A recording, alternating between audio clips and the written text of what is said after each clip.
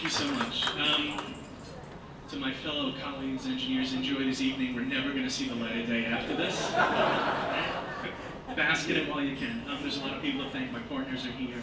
Um, for them, I am truly grateful for all the hard work.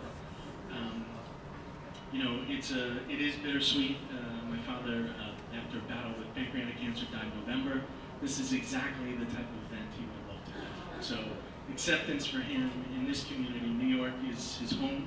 Um, he's worked with so many of you, um, competed with you, collaborated with you. So this was um, again bittersweet, but he was would be very proud to be um, you know held in such high regard. Um, I want to thank the other firms that are being honored. You guys make us better, whether you realize it or not. We're competing for projects. It tends to be very competitive but friendly, I think. Um, we're great colleagues, uh, but again, you guys make us better. All the firms that are honored here um, make us work that much harder for our clients. So again, I thank you all.